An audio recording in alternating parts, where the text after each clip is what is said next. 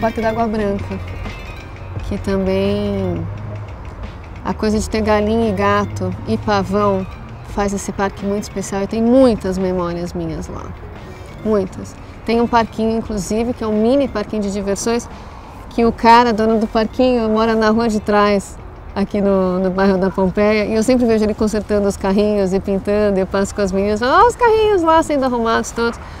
E tem cavalo pra caramba, tem feira orgânica, tem um cafezinho mineiro lá no meio, ele é todo meio mágico.